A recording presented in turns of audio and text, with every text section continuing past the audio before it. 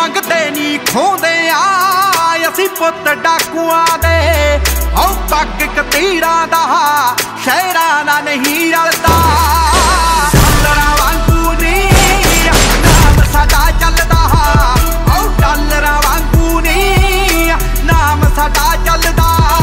ਸਤਿ ਸ਼੍ਰੀ ਅਕਾਲ ਜੀ, ਤੁਸੀਂ ਦੇਖ ਰਹੇ ਹੋ ਤੁਹਾਡੀ ਆਵਾਜ਼, ਤੁਹਾਡਾ ਆਪਣਾ ਨਿਊਜ਼ ਲਾਈਨ ਇਸ ਵੀਡੀਓ ਨੂੰ ਦੇਖਣ ਵਾਲੇ ਸਾਰੇ ਦਰਸ਼ਕਾਂ ਦਾ ਸਵਾਗਤ ਹੈ। ਕੁਝ ਦਿਨ ਪਹਿਲਾਂ ਸਿੱਧੂ ਮੂਸੇਵਾਲਾ ਆਪਣੇ ਨਵੇਂ ਗੀਤ ਜੱਟੀ ਜਿਉਣੇ ਮੋੜ ਵਰਗੀ ਦੇ ਕਰਕੇ ਵਿਵਾਦਾਂ ਵਿੱਚ ਛਾਇਆ ਹੋਇਆ ਸੀ। ਜਿਸ ਤੋਂ ਬਾਅਦ ਉਹਨਾਂ ਦਾ ਕਾਫੀ ਵਿਰੋਧ ਹੋਣ ਤੇ ਆਪਣੇ ਪਰਿਵਾਰ ਸਮੇਤ ਸਿੱਧੂ ਮੂਸੇਵਾਲੇ ਨੇ ਮਾਫੀ ਵੀ ਮੰਗ ਲਈ ਸੀ। ਪਰ ਇਸ ਤੋਂ ਬਾਅਦ ਵੀ ਇਸ ਦੇ ਸਬੰਧ ਵਿੱਚ ਕਈ ਲੋਕ ਸ਼ਿਕਾਇਤਾਂ ਕਰ ਰਹੇ ਸਨ। ਜਿਸ ਕਰਕੇ ਬੀਤੇ ਦਿਨੀ ਸਿੱਧੂ ਮੂਸੇਵਾਲੇ ਨੇ ਸ੍ਰੀ ਅਕਾਲ ਤਖਤ ਸਾਹਿਬ ਨੂੰ ਪੱਤਰ ਲਿਖ ਫੇਰ ਇੱਕ ਵਾਰ ਮਾਫੀ ਮੰਗ ਲਈ। ਸਿੱਧੂ ਨੇ ਲਿਖਿਆ, ਮੈਂ ਨਮਾਣਾ ਸੇਵਕ ਸੋਭਦੀਪ ਸਿੰਘ ਸਿੱਧੂ ਸਿੱਧੂ ਮੂਸੇਵਾਲਾ, ਪੁੱਤਰ ਸਰਦਾਰ ਬਲਕੌਰ ਸਿੰਘ ਪਿੰਡ ਮੂਸਾ, ਜ਼ਿਲ੍ਹਾ ਮਾਨਸਾ, ਨਿਮਰਤਾ, ਸਹਿਤ ਬੇਨਤੀ ਕਰਦਾ ਹਾਂ ਕਿ ਮੇਰੇ ਵੱਲੋਂ ਪਿਛਲੇ ਦਿਨੀ ਇੱਕ ਗਾਣਾ ਗਾਇਆ ਗਿਆ ਸੀ, ਜਿਸ ਵਿੱਚ ਸਿੱਖ ਪੰਥ ਦੀ ਮਹਾਨ ਸ਼ਖਸੀਅਤ ਮਾਈ ਭਾਗੋ ਜੀ ਦਾ ਜ਼ਿਕਰ ਕੀਤਾ ਗਿਆ ਸੀ। ਮੈਨੂੰ ਨਹੀਂ ਪਤਾ ਸੀ ਕਿ ਉਹਨਾਂ ਦੇ ਜ਼ਿਕਰ ਨਾਲ ਸਾਡੀ ਸਿੱਖ ਕੌਮ ਦੀਆਂ ਧਾਰਮਿਕ ਭਾਵਨਾਵਾਂ ਨੂੰ ਠੇਸ ਪਹੁੰਚੇਗੀ। ਮੈਂ ਗੁਰੂ ਦਾ ਨਿਮਾਣਾ ਸੇਵਕ ਹਾਂ ਅਤੇ ਸ੍ਰੀ ਅਕਾਲ ਤਖਤ ਸਾਹਿਬ ਜੀ ਵਿੱਚ ਅਥਾਹ ਵਿਸ਼ਵਾਸ ਰੱਖਦਾ ਹਾਂ। ਮੇਰੇ ਵੱਲੋਂ ਅਣਜਾਣੇ ਵਿੱਚ ਹੋਈ ਇਸ ਭੁੱਲ ਲਈ ਮੈਂ ਸਿਰ ਝੁਕਾ ਕੇ ਮਾਫੀ ਮੰਗਦਾ ਹਾਂ ਅਤੇ ਇਸ ਗੱਲ ਦਾ ਵੀ ਵਿਸ਼ਵਾਸ ਦਿਵਾਉਂਦਾ ਹਾਂ ਕਿ ਅੱਗੇ ਤੋਂ ਅਜਿਹੀ ਗਲਤੀ ਨਹੀਂ ਹੋਵੇਗੀ। ਮੈਨੂੰ ਤੁਸੀਂ ਜਦੋਂ ਵੀ ਹੁਕਮ ਕਰੋਗੇ, ਮੈਂ ਆਪ ਜੀ ਦੇ ਸਨਮੁਖ ਹਾਜ਼ਰ ਹੋ ਜਾਵਾਂਗਾ। ਇਸ ਗਲਤੀ ਲਈ ਮੇਰੇ ਲਈ ਜੋ ਸਜ਼ਾ ਸੁਣਾਈ ਜਾਵੇਗੀ, ਮੈਂ ਨਮਾਣਾ ਸਿੱਖ ਖਿੜੇ ਮੱਥੇ ਪ੍ਰਵਾਨ ਕਰਾਂਗਾ। ਮੈਂ ਨਵੰਬਰ ਮਹੀਨੇ ਦੇ ਆਖਰੀ ਹਫ਼ਤੇ ਵਿੱਚ ਪੰਜਾਬ ਆ ਕੇ ਆਪਣੇ ਪਰਿਵਾਰ ਸਮੇਤ ਸ੍ਰੀ ਅਕਾਲ ਤਖਤ ਸਾਹਿਬ ਵਿਖੇ ਹਾਜ਼ਰ ਹੋਵਾਂਗਾ। ਮੈਂ ਉਮੀਦ ਕਰਦਾ ਹਾਂ ਕਿ ਤੁਸੀਂ ਮੈਨੂੰ ਇਸ ਗਲਤੀ ਲਈ ਮਾਫ ਕਰੋਗੇ। ਪੰਥ ਦਾ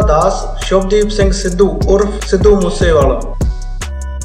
ਇਸ ਨੂੰ ਦੇਖਣ ਤੋਂ ਬਾਅਦ ਤੁਹਾਡੇ ਕੀ ਵਿਚਾਰ ਹਨ ਕਿ ਅਜੇ ਵੀ ਸਿੱਧੂ ਦਾ ਵਿਰੋਧ ਕਰਨਾ ਚਾਹੀਦਾ ਹੈ ਜਾਂ ਨਹੀਂ? ਇਸ ਦੇ ਨਾਲ ਇਸ ਤਰ੍ਹਾਂ ਦੀਆਂ ਅਪਡੇਟਸ ਨੂੰ ਸਭ ਤੋਂ ਪਹਿਲਾਂ ਦੇਖਣ ਲਈ ਇਸ ਚੈਨਲ ਨੂੰ ਸਬਸਕ੍ਰਾਈਬ ਕਰ ਘੰਟੀ ਵਾਲੇ ਬਟਨ ਨੂੰ ਦਬਾਉਣਾ ਨਾ ਭੁੱਲਣਾ। ਤੁਹਾਡਾ ਦਿਨ ਸ਼ੁਭ ਰਹੇ, ਧੰਨਵਾਦ। ਮੰਗਦੇ ਨਹੀਂ ਖੋਦੇ ਆ ਅਸੀਂ ਪੁੱਤ ਡਾਕੂਆਂ ਦੇ।